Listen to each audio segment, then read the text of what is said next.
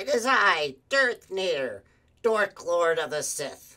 Now that Disney has bought the Muppets and Star Wars, we can give you Muppet Star Wars. It'll be amazing. I'm getting to it, Camilla. I'm getting to it. We have chicken stormtroopers patrolling the galaxy. Imagine it an entire legion of chicken stormtroopers at my command. oh, and uh, don't let me forget, there's an orchestra of chickens doing the entire score. So join us for Muppet Star Wars. There'll be no one to stop us this time.